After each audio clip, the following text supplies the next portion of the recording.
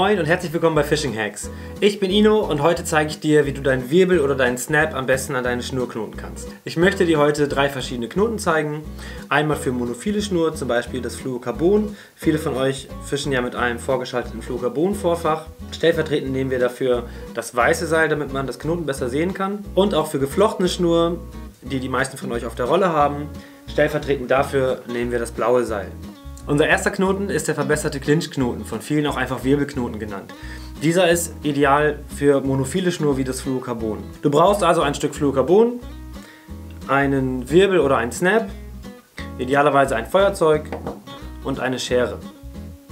Als kleiner Extra-Tipp vorweg, wie man hier sehen kann, ist Fluorocarbon etwas steifer. Das heißt, wenn es gerade von der Rolle kommt, neigt es dazu, sich ein wenig zu kräuseln und macht das Verarbeiten etwas schwieriger. Das kann man verhindern, indem man das Fluo leicht erwärmt und gerade zieht. Wir nehmen uns unseren Snap oder unseren Wirbel, den wir anknoten wollen, das Ende der monophilen Schnur und führen es einmal durch die Öse. So sieht das Ganze dann aus. Danach greifen wir uns das Stück Öse, durch das die Schnur gerade geführt worden ist, haben also unsere Schnur doppelt und führen fünf Wicklungen durch. 1, 2, 3, 4 und 5. Jetzt haben wir eine gewickelte Schnur mit fünf Wicklungen, haben unser Schnurende und führen das durch die Schlaufe, die entstanden ist, hier unten an der Öse. Viele kennen das, man kann die Knoten jetzt auch schon festziehen, dann hat man den einfachen Clinch-Knoten. Wenn wir das Endstück Schnur aber noch durch die neu entstandene Schlaufe wieder durchziehen, also hier, dann handelt es sich um den verbesserten Clinchknoten, der etwas mehr Tragkraft hat. Da wir es hier mit Fluorocarbon zu tun haben, sollten wir den Knoten einmal kurz anfeuchten, bevor wir ihn festziehen. Und dann müssen wir eigentlich nur am Ende der Hauptschnur ziehen. Am besten haltet ihr das Endstück des Fluorocarbons dabei ein wenig fest, damit es nicht durchrutschen kann und könnt das Ganze dann einfach festziehen. Ihr solltet nicht allzu wenig Schnur hier vorne überstehen lassen, da der Knoten ein bisschen nachrutschen kann. Es tut aber ein halber Zentimeter ungefähr. Das ist völlig ausreichend. Auch hier gilt wieder, mit dem Feuerzeug kann ich das Endstück ein bisschen aufpilzen lassen und verhindere somit, dass mein Knoten tatsächlich durchrutscht. Wir haben jetzt hier einen sehr einfach zu bindenden, sehr schlanken Knoten geschaffen, der ungefähr 85% der linearen Tragkraft der Schnur hat. Für geflochtene Schnur solltet ihr den Clinchknoten in einer leicht abgewandelten Variante durchführen, da er sonst durchrutschen kann. Das liegt daran, dass die geflochtene Schnur sich deutlich weniger eindrücken lässt als monophile und der Knoten sich somit nicht selbst festziehen kann. Manche behelfen sich damit, dass sie einen Klecks Sekundenkleber auf den Knoten machen. Das ist aber nicht sonderlich praktikabel, stinkt natürlich tierisch unter Wasser und kann auch dazu führen, dass eure Schnur sich auflöst. Ihr nehmt die geflochtene Schnur also einfach doppelt führt die doppelte Schnur durch die Öse des Wirbels oder des Snaps durch.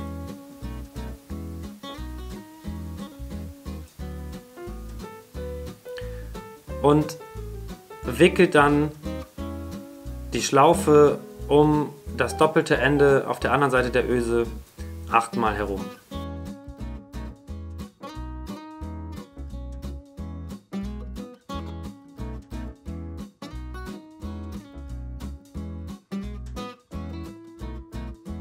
Sind die acht Wicklungen abgeschlossen, führt ihr das Ende der Schlaufe einfach unten durch die entstandene Lücke an der Öse wieder durch.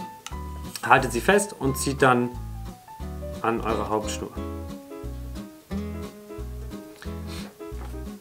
So, jetzt habt ihr drei abstehende Enden an dieser Schnur, die ihr alle abschneiden könnt. Allerdings bitte nicht ganz bündig.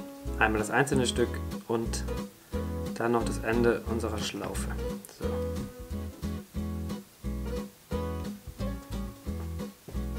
Dieser Knoten hat ca. 90% der linearen Schnurtragkraft und ist auch recht einfach zu knoten.